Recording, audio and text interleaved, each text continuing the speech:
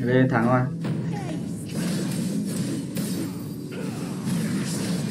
dây down.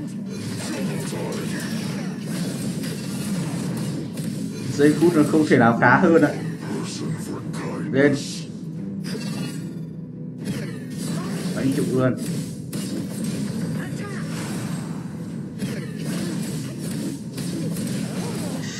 Ui rồi ôi giây phút này thì nó phải nói là ba đường siêu cấp vẫn thắng bình thường.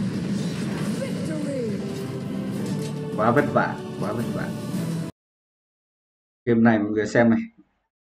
Nói chung là mình ờ, thằng ngộ không thì nói chung là về cuối thì đam ngộ không rất là mạnh. Nhưng mà nó đem cái tốc tốc hành thì mình cũng cũng thấy là nó cũng chơi được cái đấy. Đây mọi người xem video trang bị này. Tiên giáp chí mạng sau đó hút máu lại tiếp tục chí mạng nữa. Không một cái đồ nào gọi là kiếm một giây hay như nào đấy. Mọi người nhìn này. Con video mà lên đồ như này thì lấy đâu ra ra sát thương, đúng không? Lấy đâu ra cái cái kiếm mà kiểu như hỗ trợ. Như auto chí mạng luôn.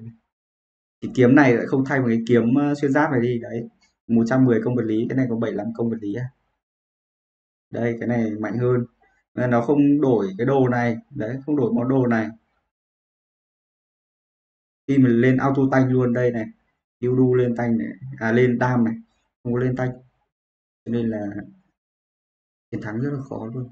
Nó mà lên đam là châu châu tí là một con cựa được một tí. Yêu mắc tạ rồi.